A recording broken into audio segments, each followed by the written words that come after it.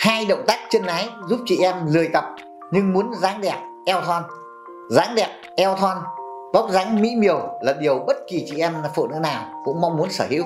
Nhưng để làm được điều này thì cần có một chế độ luyện tập khắt khe, thậm chí là khổ cực kỳ mới có được. Tuy nhiên, trong xã hội bận rộn, không phải ai cũng có đủ thời gian, thậm chí có thời gian nhưng lại ngại tập các động tác quá khổ. Hôm nay tôi xin chia sẻ cho chị em hai động tác chân ái giúp dáng đẹp eo thon dành riêng cho người lười tập. Động tác 1 nằm ngửa, tách hai chân 60 giây. Động tác thứ nhất, giữ nguyên tư thế, khởi động, dùng cơ bụng nâng chân vuông góc với sàn, sau đó bắt đầu tách chân ra hai bên. Chú ý, vừa tập vừa hóp bụng, thở đều. Thực hiện động tác này trong vòng 60 giây.